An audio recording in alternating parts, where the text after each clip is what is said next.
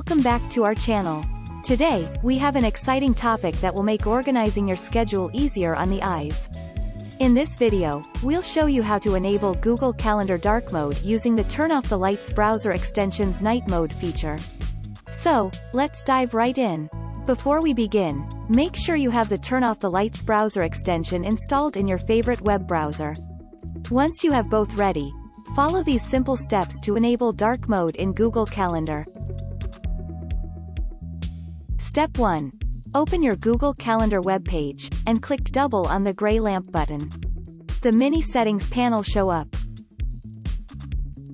Step 2.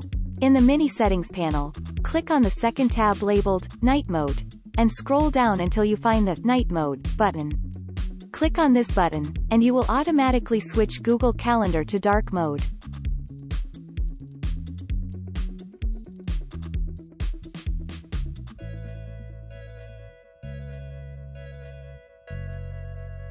Step 3. If you want to revert back to the default theme, click on the button again. You will then see the bright light website theme restored.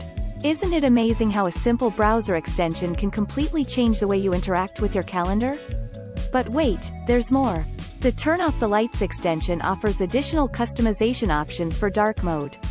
You can adjust the darkness level, apply custom themes, and even schedule dark mode to activate automatically during specific times of the day. To access these customization options, open the Turn Off the Lights options page and navigate to the Night Mode tab.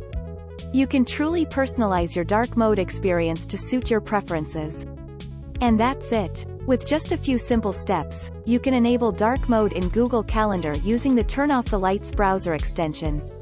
Now, you can enjoy a sleek, eye-friendly interface while managing your schedule.